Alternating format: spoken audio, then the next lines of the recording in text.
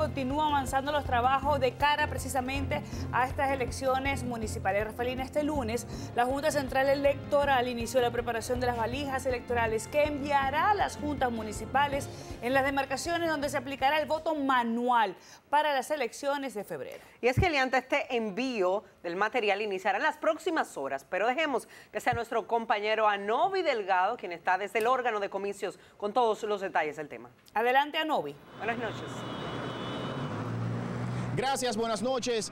A esta hora y hasta cuando sea necesario, personal de la Junta Central Electoral trabaja en el Salón de Logística con la organización y preparación de los kits que serán utilizados en los colegios electorales, donde se ejercerá el voto de forma manual el próximo 16 de febrero. La Junta lleva hacia, las, hacia los municipios todo el material electoral que éstas requieren. Será este martes cuando estos materiales empezarán a ser despachados a las juntas municipales. La valija número uno que corresponde a un colegio de Gaspar Hernández ya está lista. La logística general culminará, Dios mediante, aproximadamente el día 11 de febrero.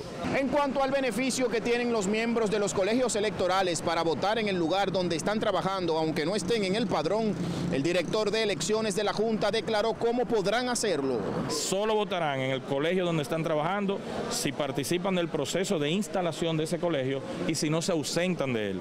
Además, este lunes, delegados políticos de las organizaciones sostuvieron una sesión de trabajo con la Fundación Internacional para Sistemas Electorales, donde las propuestas no se hicieron esperar.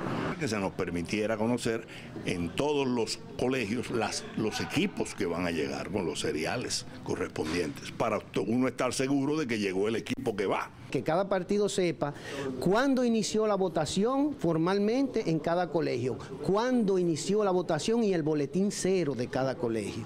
Y ellos accedieron y dijeron que sí, que eso era probable. Aunque no identificaron cuándo será, los delegados políticos de los partidos tendrán un próximo encuentro en esta misma semana. Retorno al set de noticias Telemicro. Muchísimas gracias a